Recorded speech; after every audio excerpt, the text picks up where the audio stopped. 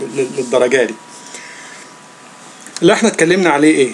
اتكلمنا على نوع من انواع العلوم اللي بيتكلموا فيها الباحثين وهي عدد البشر اللي سكنوا على الكرة الأرضية. ومعدل نمو الإنسان. ده اللي أنا كنت بتكلم فيه.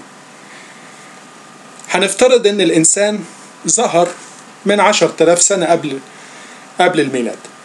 يعني من 12 ألف سنة من وقتنا الحالي. لو كان ظهر الإنسان في الوقت ده بمعدل النمو اللي معروف للإنسان مع وضع الاعتبار الكوارث الطبيعية والحروب والأوبئة وأعمار الإنسان المختلفة حسب فترات الزمنية نلاقي إن الإنسان لو كان ظهر من عشر تلاف سنة قبل الميلاد كان المفروض ما بين ست تلاف سنة لأربعة تلاف سنة يكون عدى عدده السبعة مليار إنسان. فده ما حصلش. لكن الإنسان ظهر بعد أربعة آلاف سنة قبل الميلاد ما بين ألفين لأربعة آلاف سنة. وبدأ معدل النمو بتاعه لغاية ما وصل وصل لقبل الميلاد أو الوقت سنة واحد ميلادية وصل تقريبا لأقل من نص مليار تقريبا 300 ألف مليون. وكمل النمو بتاعه لغاية ما وصل حاليا سبعة مليار. عندنا أدلة على فعلا أن الإنسان في وقت الميلاد كان بالفعل عدد البشر تقريبا تقريبا هو ال 300 ألف مليون. أنا آسف ال 300 مليون. آه وبالفعل في سنة ألف ميلادية كان تقريبا عدده وصل فوق النص بليون أو اللي هو نص مليار. وبدأ في الزيادة المستمرة لغاية ما وصل سنة 2006 مليار ودلوقتي وصل للسبعة مليار. فده اللي يؤكد لنا إن الإنسان بالفعل بدأ الزيادة بتاعته الحقيقية من ما بين سنة 4000 لسنة 2000 لكن في أدلة على وجود الإنسان من ما بين 6000 ل 4000 ففعلا الإنسان ظهر ما بين تقريبا تقريبا سنة 5000 قبل الميلاد وابتدى يزيد وحصلت له حالة حادثة كارثة طبيعية كونية خلته يختفي شبه يختفي تماما بعد كده يبدأ في النمو مرة تانية من قبل 2000 قبل الميلاد حتى وقتنا الحالي عشان نوصل للمعدل ده والعدد الحالي ده بنسب الأعمار بوضع حساب الحروب بوضع حساب الأوبئة بوضع حساب الكوارث الطبيعية. وده يؤكد بطريقة قاطعة إن الإنسان ما ظهرش من عشر تلاف سنة قبل الميلاد أو ما قبله. لا الإنسان ظهر سنة قبل ألفين قبل الميلاد فهو ظهر فعلا خمس تلاف قبل الميلاد واستمر لغاية تلات تلاف لألفين قبل الميلاد وحصلت له حاجة خليته يقل جدا بعد كده يبتدي يزيد مرة تانية. في سؤال على التكست طب هل في أدلة على أن بداية الإنسان العاقل أقل من سبعة آلاف سنة؟ آه. الإنسان مرتبط بالحضارة. لا يوجد دليل على حضارة أي حضارة مهما كان أنشئت من أقل من 7000 سنة من أكثر من 7000 سنة. فالإنسان الحضاري الناطق العاقل وده متفق عليه ظهر من أقل من 7000 سنة أو تقريبا من 7000 سنة. كم عدد الإنسان قبل الطوفان ما أقدرش أجاوب عليها لكن يعني لو هناخدها بحسبة بسيطة إن من الطوفان زي ما قدمت لحضراتكم من آدم لغاية الطوفان لو مر حدود 10 أجيال 11 جيل لو حسبناهم هنلاقي إن لو فردين يعني في الوقت ده كان عددهم زيادة كل فردين بينتجوا ثلاثة أو أربع أفراد فهنضربهم. لو بينتجوا أربع أفراد وبالنسبة أستاذ الحبيب داينوس حضرتك قلت لي طيب ما الناس بتموت. آه لا أنا بقول أب وأم أنتجوا أربع أولاد. فالأب والأم ماتوا والأربع أولاد هم اللي كملوا. فأنا مش بحسب الأب والأم أنا بحسب الأولاد. فاتنين في اتنين بيساووا أربعة ده جيل جيلين تلاتة أربعة خمسة ستة سبعة تمانية تسعة عشرة. ده لو هنحسبهم على أربع أفراد لو هنحسبهم إن معاهم بنات يبقى 11 12 13 14 آسف هبتدي من الأول بتمانية. تمانية في آه اتنين. يساوي 16 32 أربعة خمسة ستة سبعة تمانية تسعة عشرة حداشر اتناشر. فتقريبا عمر البشر تقريبا ما بين خمسة وستين ألف لمية واحد وتلاتين ألف. ده عدد البشر يعني بالحسبة دي. لو حطينا في الاعتبار إن نسبتهم أنا بس بجاوب سؤال حضرتك لو حطينا في الاعتبار إن هم كانوا بيتولدوا أكتر زي واحد زي يعقوب كان بينتج يعني أنجب 12 ولد ف 12 في آه يعني ده معدل النمو في في في 2 أنا آسف هي تبقى 2 في 12 12 يكون المعدل 24 288 ده جيلين 3 أجيال 4 أجيال 5 أجيال 6 أجيال 7 أجيال 8 أجيال 9 أجيال 10 يعني يكونوا وصلوا ل 17 مليون. فعشان كده قلت لحضرتك ما أقدرش احدد الرقم تماما لكن ممكن يكونوا من كام ألف؟ من 35 ألف ل 17 مليون حسب العدد. طيب ده بس إجابة سؤال حضرتك وأنا آسف إن أنا شتتكم في النقطة دي. فأرجع مرة تانية لموضوعي. الحسبة اللي قدمتها لحضراتكم إنه حساب الأعمار يؤكد إن الإنسان ظهر من سنة 5000 قبل الميلاد. الإنسان العاقل المفكر أو الحضاري الناطق ظهر من 5000 سنة قبل الميلاد. حصلت له حاجة يعني في حدود 2000 وشوية قبل الميلاد. وبعد كده من بعدها ابتدى في الزيادة مرة تانية علشان يوصل للرقم الحالي اللي إحنا بنتكلم عليه حاليا. طيب اللي بيأيدوا نظرية التطور ما عندهمش حاجة يردوا بيها على معدل الحسابات الدقيقة اللي قلت لحضراتكم عليها. يردوا عليها إزاي؟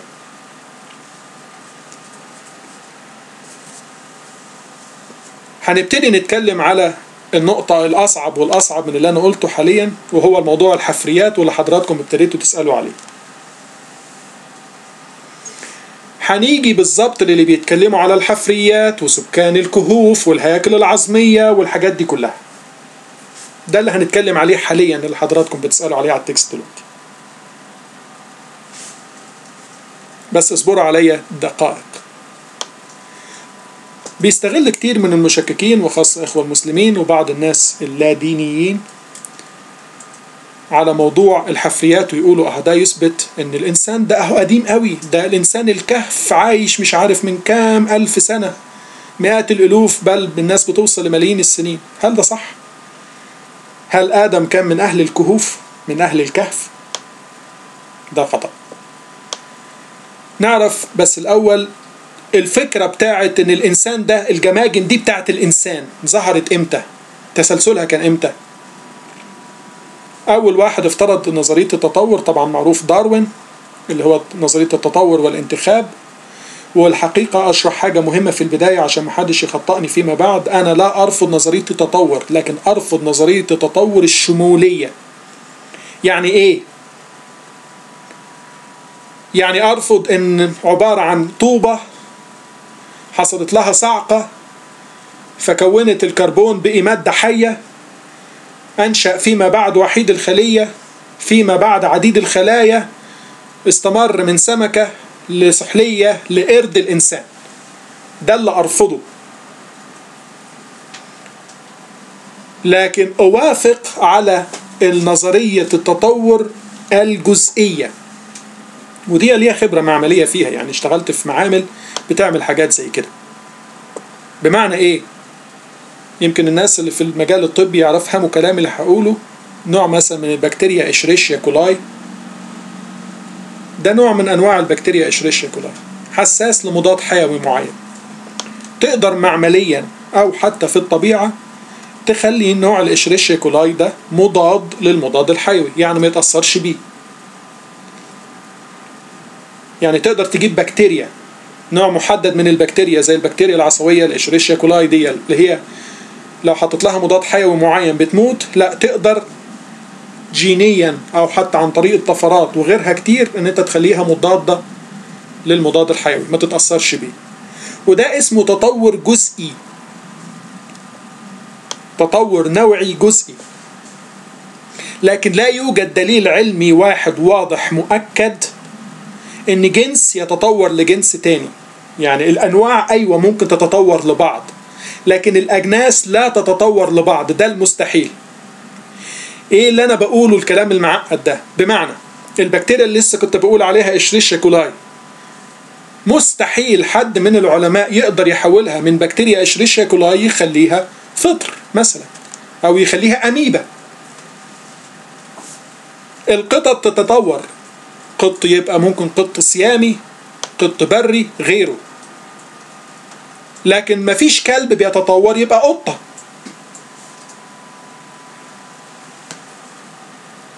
الفيروس يتطور ويتأقلم ويحارب. ال antiviral medication لكن مفيش فيروس بيتطور ويبقى بكتيريا. فاهميني أقصد أقول إيه؟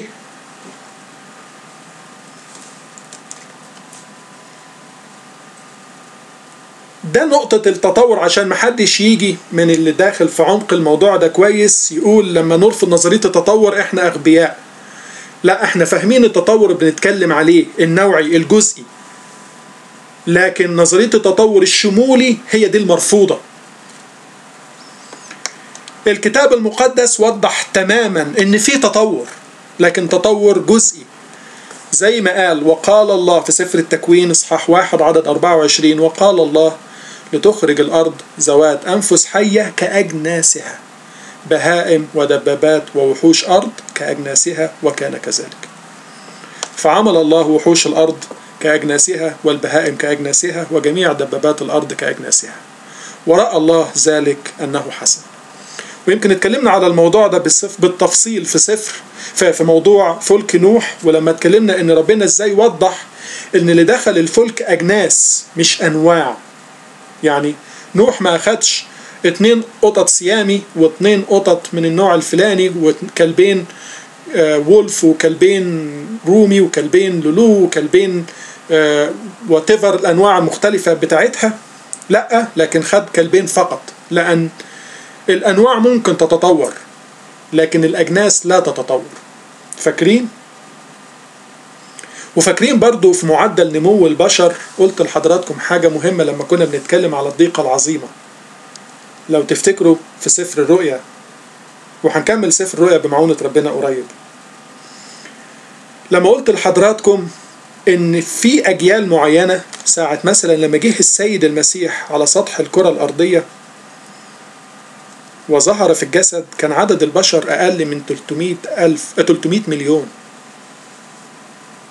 حاليا إحنا بنتكلم على سبعة مليار شخص. إذا كان عاشوا على سطح الأرض 107 مليار على ما يقرب من 200 جيل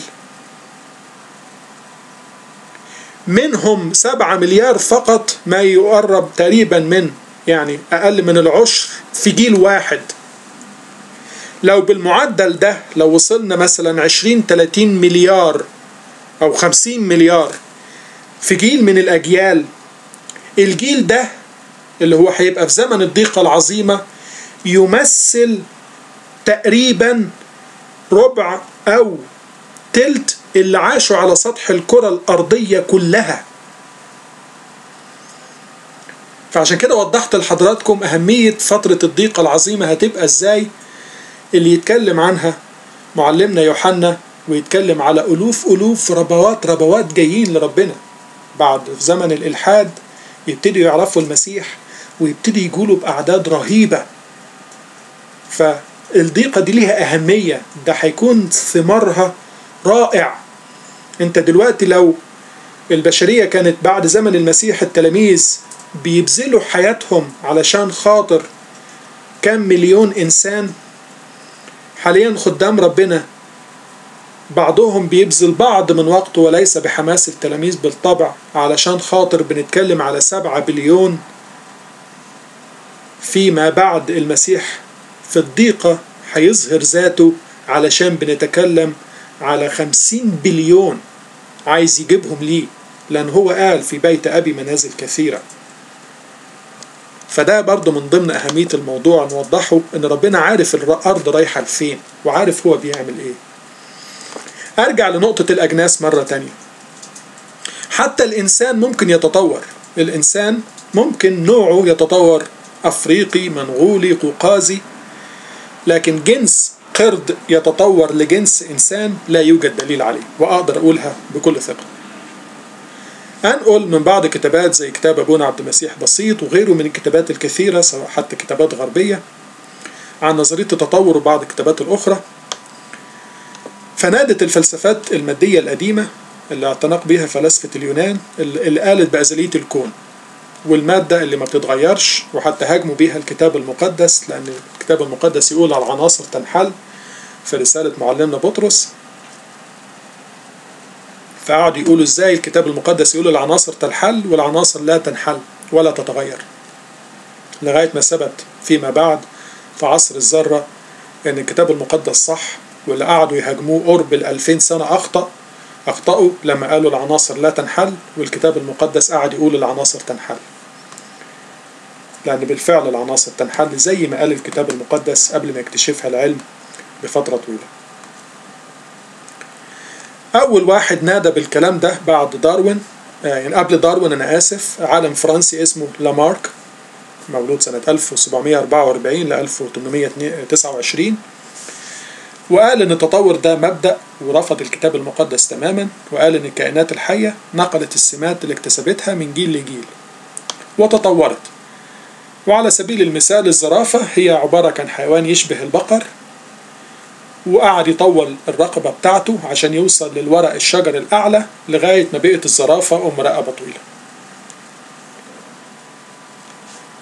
بعده طلع ليبال اللي هو سنة 1832 اللي قال أن الأرض سحيقة الزمن والحياة لا بداية لها. بعد كده جه بعد سبنسر اللي قال بعدم تلاشي المادة أو فنائها وبقاء الطاقة واستمرار الحركة. ويقول كل حاجة تظهر بداية من تاريخ مجهول وتختفي في تاريخ مجهول.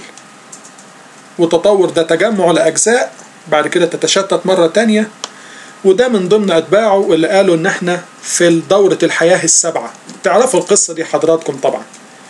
دورة الحياة السبعة يعني كان في سبعة حياة ست حياة قبلنا وإحنا في الحياة السبعة. عشان كده إحنا بنمشي بالأسبوع السابع ورقم سبعة بالنسبة لنا رقم مهم جدا. آسف مش هطول في النقطة دي علشان يعني كلمات معقدة أوي أوي. فيعني هعبرها بسرعة. بعد كده وهو ده الراجل اللي قال إن حتى العبادة تطورت. زمان كانوا بيعبدوا الآلهة والأرواح بعد كده ابتدت تتطور لفكرة الإله المركزي بعد كده ابتدت تتطور لغاية ما بقي الله اللي إحنا بنؤمن بيه حاليا. وطبعا الكلام ده خاطئ تماما. يعني قدموا أفكار كتيرة لغاية ما جه تشارلز داروين سنة 1859 في كتابه المشهور جدا اللي هو كتاب أصل الأنواع. وناقش نظرية النشوء والارتقاء. منطلق من مبدأ مهم اللي هو مبدأ إيه؟ اللي هو الصراع من أجل البقاء والبقاء للأقوى. والضعيف بينتهي تماما. فقال إن يوجد صراع من أجل البقاء وهو اللي يتغلب فيه القوي وهو اللي يعيش ويتطور والضعيف ينتهي. وحتى بناء على العبارة دي لو هنمسكها عليه طيب الإنسان تطور من قرد لحاجة أحسن من قرد؟ والحاجة الأحسن من قرد دي تطورت لإنسان والغريبة القرد قاعد لكن الحاجة الأحسن من قرد اختفت تماما والإنسان قاعد. طب مش دي حاجة عجيبة؟ لكن مش نقطتنا دلوقتي. فقال الصراع من أجل البقاء بين الأجناس وطبعا نرفض تطور الأجناس واعتبر أن أصل الحياة هو عبارة عن صورة هلامية. تسمى بالجبلة أو البروتوبلازم وظهرت فيها نواة اللي هي إحنا بنسميها الخلية حاليا. بعد كده من خلية لما تعدد الخلايا لمراحل لغاية ما وصلنا لمرحلة القرد اللي وصلت بعد كده أعلى نصب يعني مرحلة تطور وهو الإنسان. وقال إن القرد الحالي والإنسان الحالي ليه أسلاف مشتركة. بعضها تطور للقرد اللي إحنا عارفينه حاليا وبعضها تطور للإنسان اليوم الإنسان العصري ده أحد أنواع التطور. وبيقول أثناء عملية التطور المزعومة دي إن هي ابتدت تقريبا من حدود من 4 ل 5 ملايين سنة. وقالوا إن في بعض المراحل الانتقالية اللي بيجيبوها لنا حاليا ويقول لك أهو بص إنسان الكهف أهو. وآدي جمجمة إنسان جاوة وامرأة سمطرة ونانسي وغيرها من الأسماء اللي هنسمعها دلوقتي. قالوا أربع فئات القرد الجنوبي إنسان القادر على استخدام الأدوات إنسان منتصب القامة الإنسان العاقل. ودول الأسلاف الأولى للإنسان والقرد الحالي. والقرد الأصلي اللي تطور لكل ده هو اسمه القرد الأفريقي الجنوبي. وأفكر حضراتكم تاني بالصورة اللي إحنا بنتكلم عليها الصورة دي.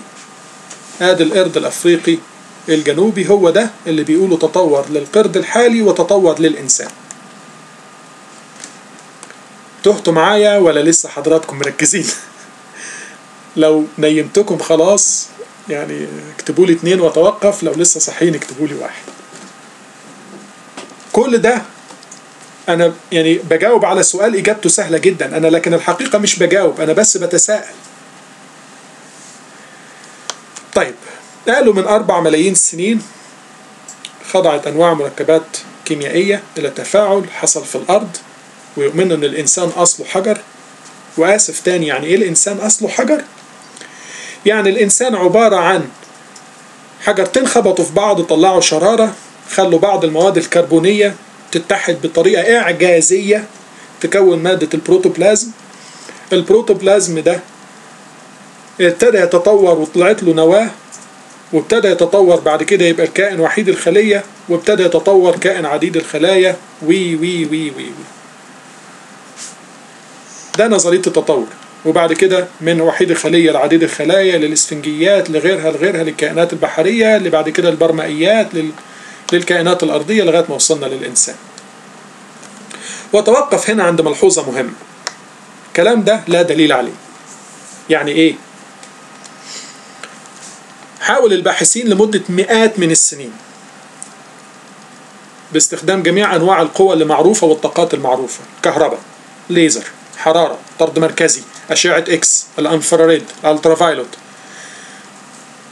جميع أنواع الطاقة أو القوة اللي تخطر لحضراتكم ضغط حرارة غيرها إنه يحولوا مركب عضوي لبروتوبلازم معرفوش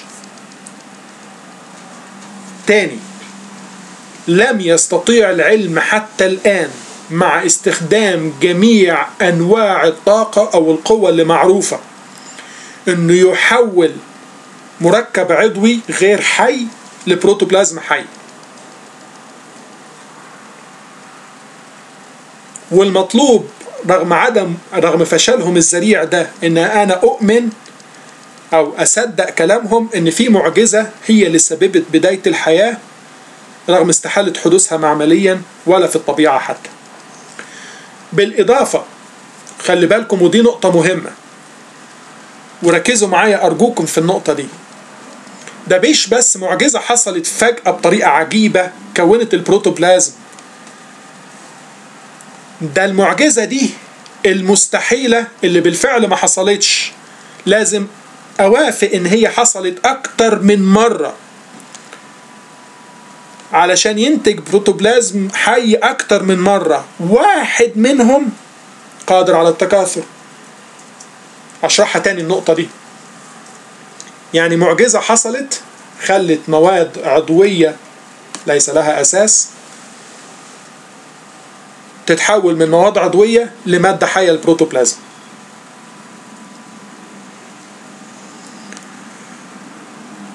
يعني المفروض إن أنا رغم استحالة حدوث الموضوع ده لكن مطلوب مننا إن إحنا علشان نرفض ربنا ونؤمن بنظرية التطور لازم أوافق على حاجة زي كده كمبدأ أساسي. ومش بس أوافق على كده إن المعجزة الغريبة اللي حصلت حجرين خبطوا في بعض تحت تأثير صاعقة أو غيره من القوة خلت مركب عضوي ميت لبروتوبلازم حي. لا ده أنا المفروض إن هي أؤمن إن هذه المعجزة الغريبة حدثت مرات عديدة جدا آلاف المرات بل ملايين المرات علشان واحد من البروتوبلازم الحي ده طلع ليه قدرة على التكاثر. بمعنى إيه؟ ما أنت يعني لو أفترض إن حتى المعجزة الغريبة دي حصلت وحول مادة عضوية لبروتوبلازم لكن البروتوبلازم ده ليس له قدرة على التكاثر فهيموت.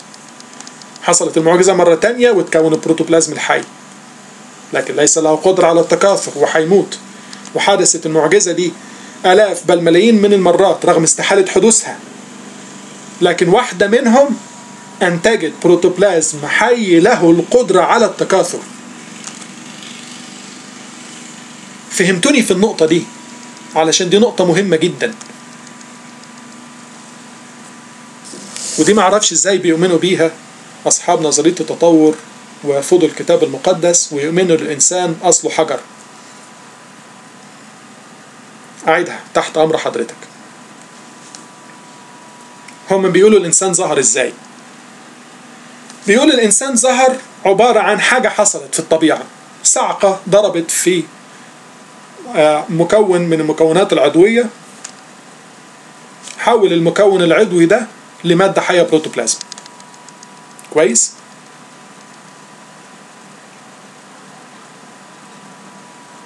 طيب رغم استحالة حدوث ده معمليا ولا حتى بيئيا ولم تحدث أبدا لكن هتماشى معاهم. وحوافق إن المعجزة الغريبة دي لا يوجد قوة ذكية اللي هو الله وراها لكن هي حدثت من نتيجة نفسها بفعل الطبيعة.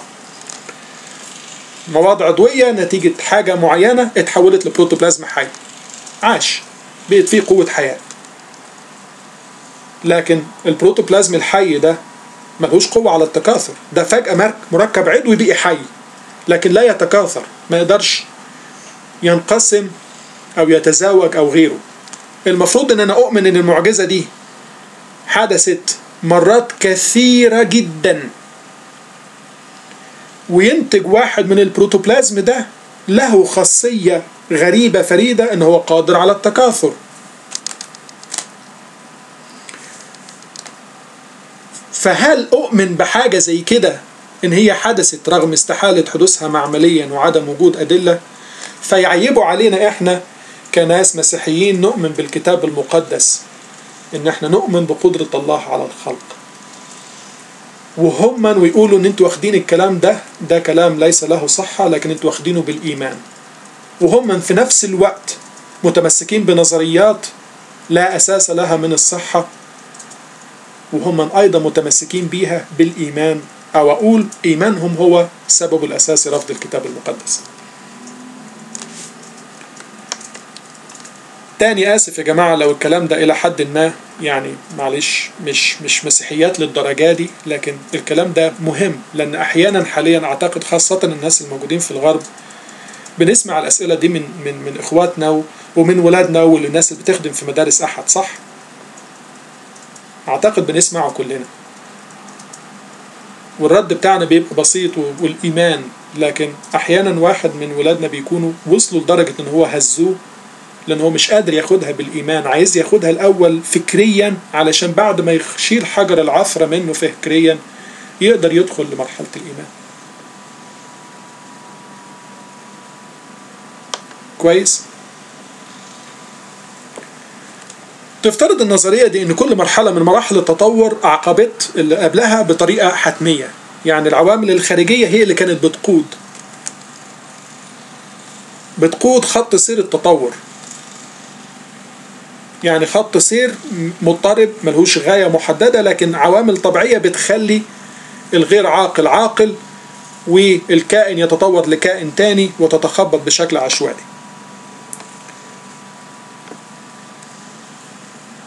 وبالطريقة دي بتفسير داروين ده بيقول يعني أو بينادي بعدم وجود الله.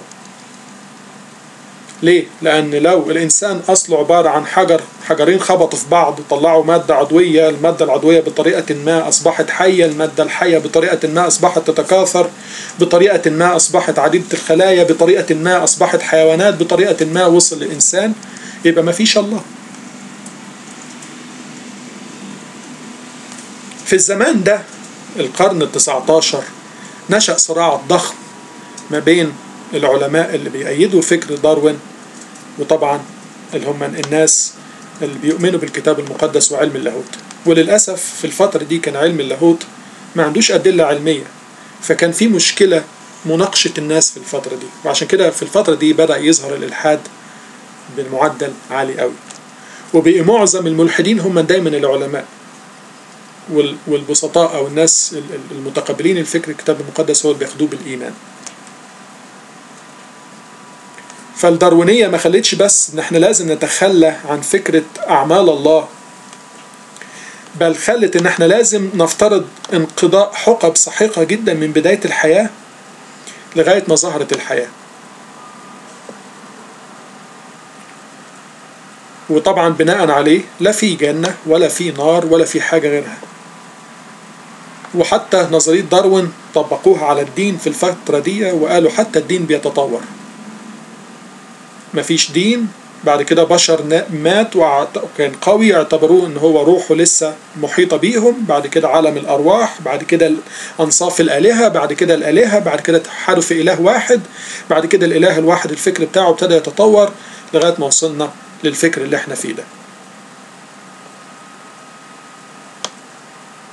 وطبعا زي ما قلت كانت سبب ترك لناس كثير للإيمان. طيب النقطة دي أنا مش هحاول أطول فيها وأدخل تاريخ الكنيسة الأرثوذكسية أو الكاثوليكية في النقطة دي علشان الكنيستين كان ليهم مصادمات كثيرة وخاصة الكنيسة الكاثوليكية. وحاولوا تدخل في نقاش علمي وحاولي الكنيسة في فترة من الفترات علشان الهجوم الضخم للكنيسة الكاثوليكية حاولت تناقش التطور بفكر إيماني إلى حد ما لكن يعني كان في لخبطة كتيرة. فتاني هعبر على النقطة دي وأختصر الموضوع ده لحضراتكم علشان يعني ما, ما, ما تراكمش لكن الموضوع ده طبعا عليه ردود ضخمة وبكل بساطة أن النظريات دي بعد ما كانوا متأكدين أن هم هيلاقوا لها إثباتات وتتحول لقوانين الحقيقة وجدوا أدلة عكسها بكثير فأصبحت بدل ما هي نظرية أصبحت فرضية عارفين أن هي فرضية واحد بيفترض شيء نظرية لما تبقى في بعض الأدلة تؤكدها لكن مش مش مية في المية ولما تتأكد مية في المية تصبح قانون. فحاليا حتى نظرية التطور هي اسمها فرضية التطور وليست نظرية. ولأنها ما قدمتش أي دليل علمي مؤكد على صحتها فأصبحت حاليا هي في مرحلة الفرضية المرفوضة وليست لها أي تجربة علمية تؤكدها. طلع طبعا بعدها مندل لقوانين الوراثة سنة 1865 وطلع بعدها علم الوراثة ووجه ضربة قوية حتى لنظرية التطور. وتقريبا دلوقتي في القرن العشرين شبه كل العالم رافض نظرية التطور وحاليا حتى شبه ممنوع دراستها في أكثر من 42 ولاية أمريكية ودلوقتي ابتدوا يستبدلوها اللي أيضا رافضين للكتاب المقدس لأن مستحيل يقتنعوا بيها ابتدوا يستبدلوها بحاجة يسموها التصميم الذكي اللي هو إيه؟ ال intelligent design. بتقول إن ال ال الكون الخالق ليه عقل ذكي جدا. طب طالما أنتوا وصلتوا لمرحلة إن اللي خلق الكون ده عقل ذكي طب ليه ما بتقولوش على العقل الذكي ده الله؟ فشلت تماما نظرية التطور واقتنعتوا برفضها. لكن ليه رافضين إن تقولوا على التصميم الذكي ده؟ هو الله. على مدار الأربعين سنة الماضية اكتشف علم الكيمياء الحيوية اللي هي أسرار الخلية ودرسوا كتير جدا في الموضوع ده. لكن كل ما يدرسوا زيادة في الموضوع ده يتأكدوا من ما يسمى بالتصميم المبدع. وتنتهي تماما نظرية التطور لا تستطيع أن تقف أمام علم الخلية اللي يؤكد وجود المصمم البارع المصمم المبدع. فمحدش دلوقتي يقدر يقول إن مادة غير حية تجتمع فجأة وتكون حياة. ده مستحيل علميا وعقليا وبيئيا. ولم تنجح تجربة واحدة في إثبات الكلام ده. لكن الحاجة اللي بيمسكوها بيقولوا التصميم المبدع أو ال intelligent design يعني في قوة ذكية هي اللي أنتجت الحياة. مع رغم اقتناعهم بكده رافضين وجود الله.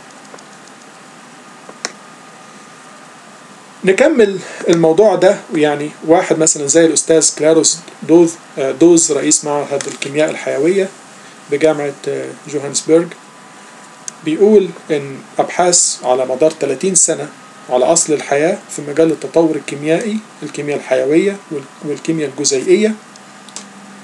إن أصل الحياة مستحيل يكون تطور طبيعي لكن هو لازم قوة أنتجت الحياة دي. علشان كده دلوقتي العلماء اللي بدأوا يدرسوا في الموضوع ده أكثر بدأوا يدخلوا في الإيمان أكتر. لأن ما ينفعش يقدروا يرفضوا العلم والمنطق والعقل ويتمسكوا بنظرية التطور لكن لازم دلوقتي يعترفوا بوجود القوة الذكية والقوة الذكية هو الله. هختصر الموضوع ده عشان ما أطولش فيه قوي. أنا قلت زي أنصار نظرية التطور رافضين للكتاب المقدس حاولوا ينسبوا الإنسان أصله قرد لكن مفيش دليل على كده. طيب موضوع الجماجم والحفريات اللي بينسبوها للإنسان دي قصتها إيه؟ واحد اسمه أوجين ديبوا ده طبيب شاب اقتنع بنظرية التطور وابتدى يبحث في موضوع جماجم الإنسان اللي هو المادة الغير حية أصبحت حية واستمرت الحياة لغاية ما وصلت للنباتات وحيوانات لغاية ما وصل القرود ومنه الإنسان. لكن واضح تماما للدارسين الموضوع ده أن في فرق شاسع ما بين القرد والإنسان. عشان ينتقل القرد للإنسان مرحلة مباشرة ما ينفعش. لازم في مراحل كثيرة جدا مراحل الوسيطة اللي هي بيسموها ال missing link أو المرحلة المفقودة أو الحلقات المفقودة. هو قال الحلقة المفقودة بيسموها بالاسم اليوناني بيسموها بيتيكانتروب أو الفيتيكانثروب ومعناها إيه؟ فيتوس اللي هو قرد والأنثروبوس أو الأنثروبوس اللي هو الإنسان. فهو قالوا المرحلة الوسيطة اللي هو اسمه فيتيكانثروبوس يعني ما بين القرد ما بين الإنسان. نص قرد ونص إنسان مرحلة ما بين الاتنين. ابتدى يدور عليه عشان مستحيل واحد زي ده ينجو اللي هو النص قرد ونص إنسان ينجو لا في أي جو صعب. فكان لازم يعيش في منطقة حرة لأنه من غير شعر. وما عندوش أي أسلحة ولا مخالب يقدر يعيش بيها ولا فك يقدر يحارب بيه ولا يقدر يتسلق الشجر بقوة زي القرود. ده ماشي على الأرض. يعيش إزاي؟ فقالوا لازم هيبقى لو وجد يبقى موجود في المناطق الحارة. ابتدوا يدوروا في المناطق الحارة وزي جزيرة سومطرة وجاوا وغيرها ووصلوا سنة 1890 لأن لقوا بعض الحفريات جمجمة الجمجمة دي واضحة يعني إلى حد ما واضحة تماما لكل اللي بيدرس الجماجم الشمبانزي وخاصة القرود الجابون اللي هي بنلاقيها في جنينة الحيوانات المختلفة قرود الجابون المعروفة. دي شكلها زيها لكن هو قال عشان لقي قريب منها عظمة فخذ تشبه عظمة فخذ الإنسان فقال ده هو المرحلة الوسيطة. وعمل مؤتمر في أوروبا ونشره وقال وجد البنتا كنتروب اللي هو المرحلة الوسيطة ما بين الإنسان والقرد وطلعت جدال عنيف جدا في الوقت ده وطلعت نكت كتيرة في الموضوع ده وحاجات زي كده كتير. بعد كده ابتدوا يكملوا بحث وغيره من من الباحثين زي واحد اسمه يعني واحد عالم صيني جي غي أندرسون. وده ابتدى يبحث في منطقة اللي هو شوكوتيان ودي 50 كيلو جنوب الغرب من بكين ولقي فيها برضو بعض الهياكل العظمية وقال أيوة ده اللي هو المرحلة الوسيطة للإنسان وابتدوا يبحثوا في الموضوع ده وابتدوا يحددوا أعمارها بالكربون المشع وغيرها كتير. كويس؟ هو اللي حصل إيه؟ بداية العلم ده إن هم افترضوا افتراضية وبيحاولوا يثبتوها بأي شكل. إن في حاجة اسمه مرحلة الوسيطة ما بين الإنسان والقرد. وأي هيكل عظمي يختلف حاجة بسيطة عن أو أي جمجمة تختلف في اختلاف بسيط عن القرد تبقى دي هو المرحلة الوسيطة. طب ما يمكن حاجة مختلفة لأ هو يبقى ده المرحلة الوسيطة. فاهمين أقصد أقول إيه؟ أنا عارف إن أنا تعبت حضراتكم قوي معايا النهارده بس معلش استحملوني شوية صغيرة. هما نفترضوا إن في حاجة اسمها مرحلة وسيطة ما بين الإنسان والقرد. وكل هيكل عظمي وخاصة الجمجمة اللي يلاقوها مختلفة شوية صغيرة عن جماجم القرود أو أكبر منها شوية صغيرة يقولوا عليها دي المرحلة الوسيطة. أعرض لحضراتكم صورة ونركز فيها. اللي تحت ده اللي بشاور عليه ده صورة الهيكل العظم الآسف صورة جمجمة إنسان. كويس؟ اللي هنا صورة جمجمة غوريلا. فده الإنسان وده الغوريلا. الفرق ما بين الاتنين هو أن الجزء الجبهي للإنسان أصغر من الجزء المخي. وجمجمة الغوريلا الجزء الجبهي أكبر من الجزء المخي يعني مخ القرد أو الغوريلا أصغر من الإنسان. كويس؟ فقالوا الإنسان الوسيط هيبقى حاجة زي كده. يبقى الجزء الجبهي تقريبا موازي مساوي للجزء المخي. يعني مخه أكبر من القرد شوية وأصغر من الإنسان. لكن الحقيقة طب ما في أنواع من القرود. الجزء الجبهي أصغر بالفعل من الجزء المخي ولا زال قرد لغاية دلوقتي. فليه القاعدة اللي وضعوها؟ وهي دي المقياس الأساسي. أي جمجمة يلاقوا الجزء المخي يقترب لحجم الجزء الجبهي يبقى ده المرحلة الوسيطة. ليه؟ بناء على أي مقياس؟ وده سؤال أنا بسأله. آه الإنسان فعلا الجزء المخي أكبر من الجزء الجبهي. الغوريلا الجزء المخي أصغر من الجزء الجبهي. ليه افترضوا الوسيط يكون ما بين الاثنين طب ما في أنواع قردة. الجزء المخي أكبر من الجزء الجبهي. فاهميني في النقطة دي ولا اشرحها تاني لحضراتكم. واعتذر مرة تانية لو الموضوع تقيل. معلش سامحوني. طيب جميل. يبقى القاعدة الأساسية اللي بيستخدموها في مقياس الإنسان وتحديد إن دي جمجمة إنسان ولا جمجمة قرد ما تنفعش.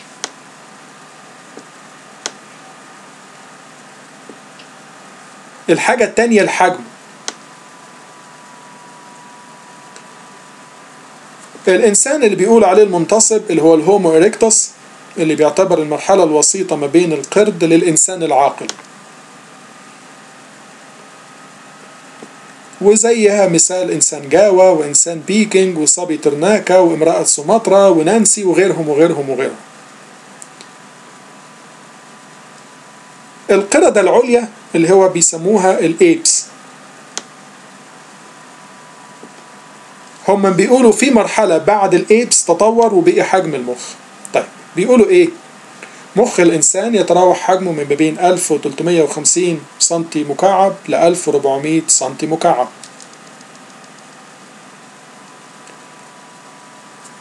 يقولوا إن حجم المخ القرد أصغر من كده يعني حجم مخ الشمبانزي 500 والغوريلا 700 سنتي مكعب. فلو لقينا حجم مخ قرد أكبر من ال 700 يبقى ده المرحلة الوسيطة لكن حقيقة خطأ. في مراحل من أحجام في حاليا أحجام مخ لقرود حجمها تعدى الألف سنتي مكعب. فعلى سبيل المثال إنسان جاوة 930 سنتي مكعب يعني مخه أصغر من مخ بعض القرود الحالية. صبي ترناكة لو بلغ يوصل مخه 910 سنتي يعني أصغر من الإنسان من القرد حاليا. بقيتهم كلهم ما هو أقل من 800 سنتي مكعب. وأعيد الحتة دي تاني عشان نقطة مهمة. الإنسان حجمه حجم مخه أكبر من 1350 الغوريلا من 700 سنتي فما دون والشمبانزي 500 قالوا لو لقينا واحد مخه أو جمجمة تثبت إن مخ الكائن ده ما بين ال 700 لغاية ال 1300 يبقى ده المرحلة الوسيطة. المخ بيكبر كويس؟ لكن الحقيقة دي أيضا قاعدة خطأ. ليه؟ لأن بالفعل في قرود مخها حاليا أكبر من 1000 سنتي يعني أكبر من كل الجماجم اللي لقوها ويقول عليها مرحلة وسيطة. إنسان جاوة و... وابن ترناكا وامرأة سومطرة وغيرها وغيرها وغيرها. يعني الاعتماد على الفرق ما بين الجبهي والمخي خطأ. والقاعدة الثانية الاعتماد على حجم المخ فقط أيضا أقدر أقول لحضراتكم بكل ثقة خطأ. دي الجزء بتاع جمجمة إنسان جاوة. وبنشوف من الدوران بواضح إن الجزء الجبهي أكبر من الجزء المخي لكن عليه اختلاف علشان مش كامل. لكن في ناس تانيين بحثوا الموضوع ده ولقوا أدلة مختلفة تماما غير اللي بيقولوه الناس دول بتوعوت إن الإنسان أصله قرد. إيه هو؟ قالوا طيب ما كان زمان في نوع من أنواع القردة الجابون أكبر من حجمها الحالي. ولكن بسبب ال ال ال الحياة حجمها صغر. طب ليه أنتوا بتقولوا إن ده مرحلة وسيطة وما بتقولوش إن ده الجابون اللي هو كان زمان أكبر في الحجم بشوية وصغر بعدها. ودي على يعني أدلة كتيرة من من علماء بقى بالفعل بيثبتوا الكلام ده. ده جمجمة الجابون حاليا ودي الجمجمة بتاعة إنسان جاوة اللي بيحاولوا يقولوا إن هي دي إنسان ولكن هو في الحقيقة ليس إنسان. إنسان جاوة اللي بيستخدموه ويقولوا الكتاب المقدس أخطأ وغيره وغيره وغيره. هو أشبه ما يكون بجمجمه جابون كان أكبر في الحجم من الحالي. قرد الجابون. صبي ترناكا اللي هو آه آسف صبي تركانا اللي هو تركانا بوي. آسف كنت نطقت اسمه أكتر من مرة خطأ دي شكل جمجمته ودي مقارنة بجمجمة الإنسان. وده اللي بيقولوا أيضا من المراحل الوسيطة. ولكن ده مش صحيح. ليه؟ هو بيتشابه مع إنسان جاوة أو لكن لو قارناه بجمجمة الجابون نلاقيه بيتشابه معاها أكتر. قائمة مش هصدع حضراتكم بيها قائمة طويلة بكل الاكتشافات اللي لقوها وبيقولوا إن دي تؤكد فعلا المراحل الوسيطة ما بين الإنسان والقرد دي مرحلة حقيقية. ولكن النقطة المهمة إن مخخ أو ال ال ال احجام المخ بتاع الكائنات دي كلها لا زال أصغر من حجم بعض أنواع القردة الموجودة حاليا. ودي مشكلة بيحاولوا يعني يتجاهلوها ويغطوها. يعني زي مثلا حاجات كانت 350 سنتي حاجات كانت 650 سنتي وغيرها. لكن بيصروا في جهادهم إن يثبتوا الإنسان أصله قرد رغم تجاهل حاجات علمية مهمة. الكلام ده علشان أثبته لحضراتكم. هسمع لكم حتة صغيرة من فيديو يثبت اللي أنا بقوله لكم ده. كلامهم هم مش كلامي أنا. هشغل فيديو صغير وده واحد من أحد العلماء الذي يؤمن أن الإنسان أصله قرد وبيبحث في الموضوع ده. Filled with hungry carnivores, so it's not the safest time to be out. هنا بيبتدي يعني بيقول إن طبعا في الغابات في الوقت زي ده طبعا في حيوانات كثيرة كتيرة وطبعا دي نقطة مهمة إزاي الإنسان اللي بيتطور ده بدون سلاح بدون عقل بدون أي شيء نجا في الظروف الغريبة دي؟ وده سؤال مهم. Stay down, stay down.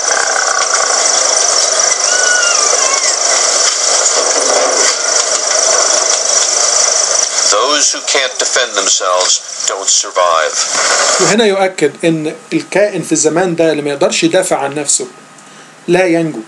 طيب القردة ممكن تتسلق الأشجار. الإنسان في المرحلة الوسيطة اللي بيقول عليه اللي كان منتصب ماشي على الأرض بدون ديل. ده إزاي نجا في الظروف دي؟ طبعا دي معجزة آه آسف معضلة بالنسبة لهم حتى الآن غير قادرين على حلها. So when you see a pride of lions devouring an impala they've just killed, you realize how vulnerable our ancestors were out here. Nightfall must have been a terrifying time for our earliest ancestors. Without the safety of this car, I could easily become a meal for بيقول في زمان زي ده لو كائن موجود ماشي على الارض بدون اي اسلوب دفاع ما يقدرش ينجو في ظروف زي دي فازاي الانسان نجا في ظروف زي دي some hungry predator lurking out there in the dark. It was the same for our ancestors who had very little protection. Yet somehow they were able to carve out a space for themselves and survive among these skilled African predators. Each and every animal that lives out here has its own unique special survival strategy. بيقول لازم كان الإنسان اكتشف بطريقة ما إن هو ينعزل عن الحيوانات دي بحيث يحمي نفسه لغاية ما تطور يبقى إنسان. وطبعا عارفين بعدها اختفى وبيقول دي معجزة. طب برضه ما بنؤمنش ليه؟ تؤمن إن هي معجزة لكن ما تؤمنش إن ربنا هو اللي خالق الإنسان. And I suspect it was no different for our ancestors because they had to survive to eat and not be eaten.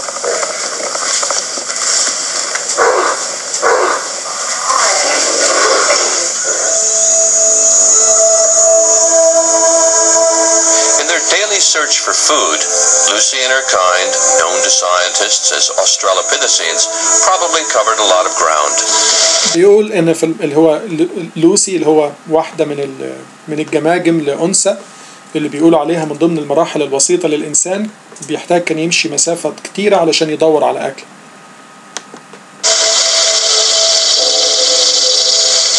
They walked upright so their hands were free to carry food. Roots, tubers, and even termites made up part of their diet.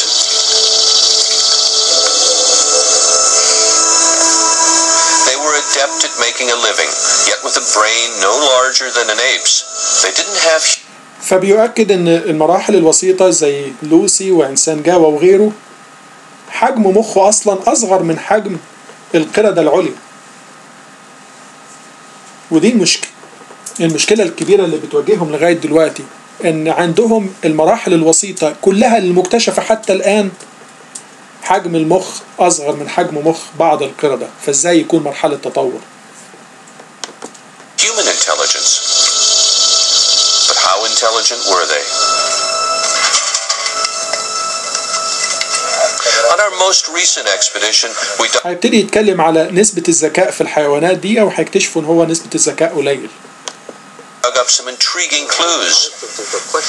Finally, after 20 years of searching, we found fragments of a skull from Lucy's species. It took a month to clean the fragments and figure out how to put them together. And once we did, we were not disappointed.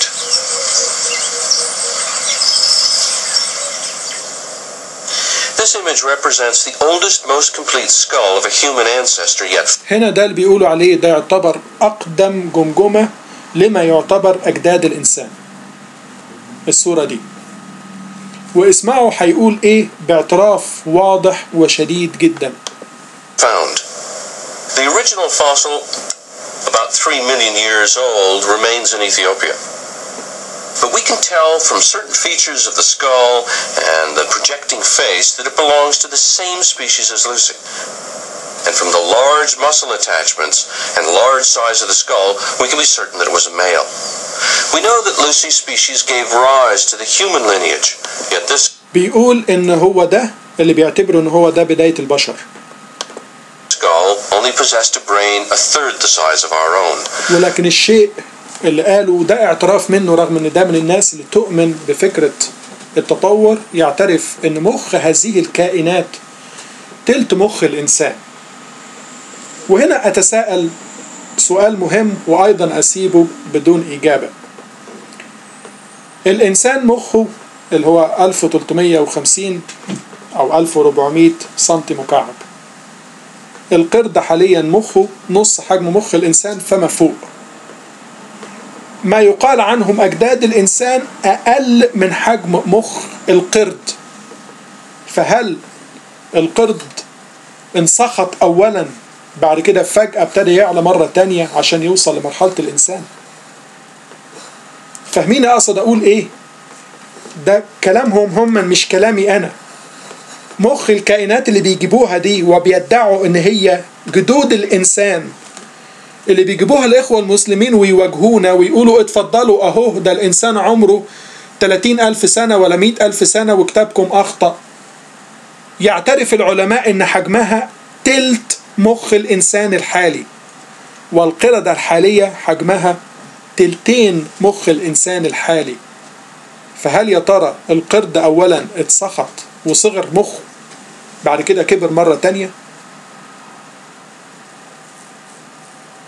فاهمين يا أخوات الحباء اللي فهمني لغاية دلوقتي يكتب لي واحد اللي ما فهمش يكتب لي اتنين وأنا أعيدها بسرعة النقطة دي لأنها مهمة جدا وفيصلية. وكافية على إجابة الموضوع تماما. طيب اللي كتبوا اتنين هشرحها بسرعة مرة تاني. أنا هوافق مبدئيا إن الإنسان أصله قرد. والقرد بيتطور ومخه بيكبر وبيتنور وفجأة القرد وصل لمرحلة إن هو بقي كائن عاقل حضاري ناطق.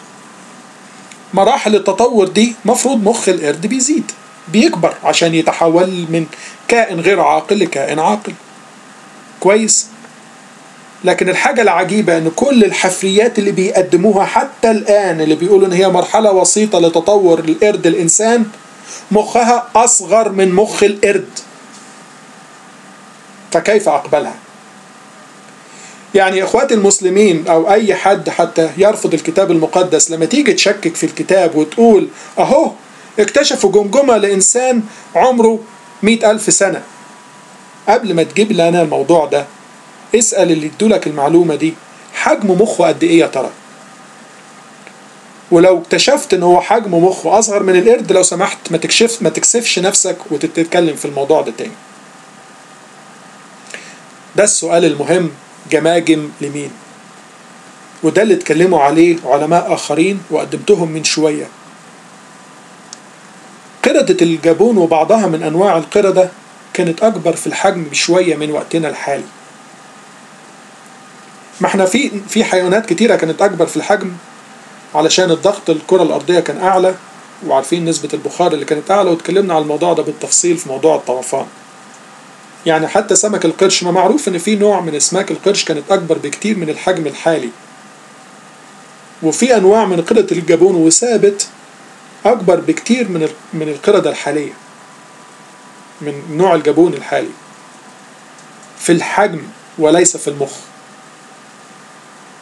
فده أنواع من القردة كانت أكبر في الحجم الجسم لكن أصغر في المخ وانقرضت. كويس. فتاني مرة أي حد يجيب مهما كان أي اكتشاف قبل ما يتكلم في النقطة دي أتمنى منه يقول لي حجم مخ الجمجمة اللي جاي يستشهد بيها قد إيه. ولو طلعت أصغر من مخ القرد وبعض القردة العليا حاليا لو سمحت ما يتكلمش في الموضوع ده تاني. وأيضا أنا بتساءل لا أدعي العلم. أنا بس بنقل من كتابات اللي بيقولوا الموضوع ده.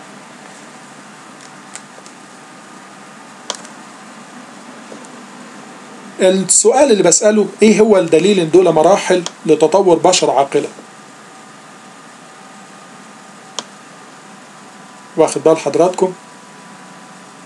أتوقف عند النقطة دي وعارف تعبتكم قوي معايا. لسه في مرحلة مهمة هتبقى فيصلية في كلامنا. فتحبوا نوقف ناخد دقيق يعني الترنيمة وأكمل ولا لو تعبت نوقف خالص؟